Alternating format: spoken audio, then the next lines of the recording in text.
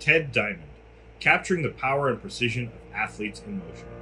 Ted Dimond, an artist uniting sports and art, fuses his lifelong passions to craft a captivating body of work. From wielding a paintbrush or racket in his earliest memories, Ted's creative journey seamlessly blends sports and artistic expression.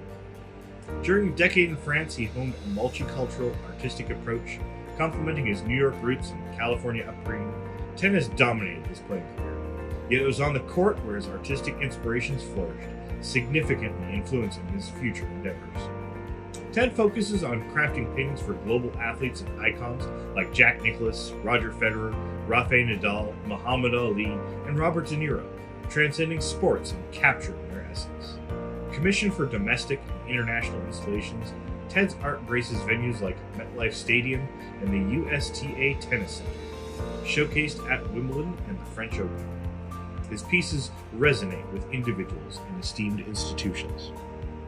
Gearing up for a football themed show, Ted's boldly innovative technique infuses depth and motion onto canvas, capturing the sport's inherent energy. A visionary artist like Leroy Neiman, Ted transcends sports, portraying athletes and the unique atmospheres of football.